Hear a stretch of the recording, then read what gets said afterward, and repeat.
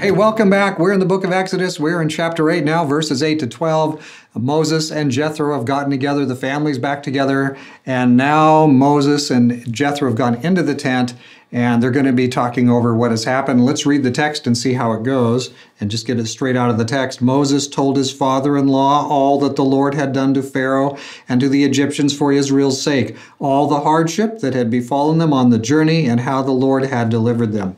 Jethro rejoiced over all the goodness which the Lord had done to Israel in delivering them from the hand of the Egyptians. So Jethro said, Blessed be the Lord who delivered you from the hand of the Egyptians and from the hand of Pharaoh, and who delivered the people from under the hand of the Egyptians. Now I know that the Lord is greater than all the gods. Indeed, it was proven when they dealt proudly against the people. Then Jethro, Moses' father in law, took a burnt offering and sacrifices for God, and Aaron came with all the elders of Israel to eat a meal with Moses, father in law, before God. So there's lots of interesting bits here. First of all, do you notice that Moses doesn't say, Look, I did this and I did that and I did this? No, it's what the Lord has done for Israel. Verse 8, look at it again. Moses is telling Jethro what God did for his people. Moses isn't saying, Look, I'm the big hero here, so, you know, hooray for me. He's pointing to God. And this is Moses being the meek guy that, you know, the Bible says he is. And Moses is unloading some of the things that happened along the way on the journey. And a lot of that was, well, yeah, after we get past the Egyptians in the Red Sea, then it's the grumbling, whining, moaning people.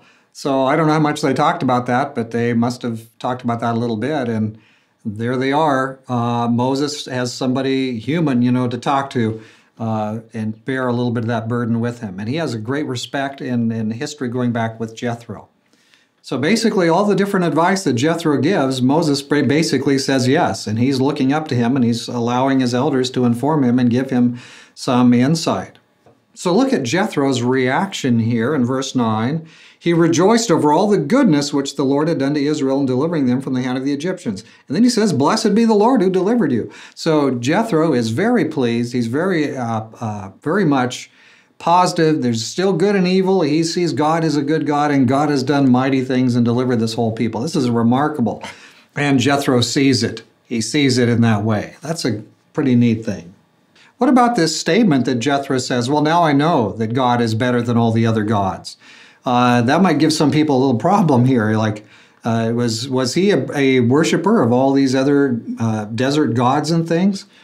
Well, you know, we're not really, we can't be completely sure of all that, but we know there was a lot of desert gods and things, and yet he seemed to put the God of Israel first.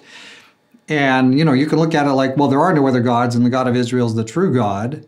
Or it could be that, yeah, he sort of believed in these other gods that those actually existed, but that God, the Israel, but that the God of the Hebrews was superior.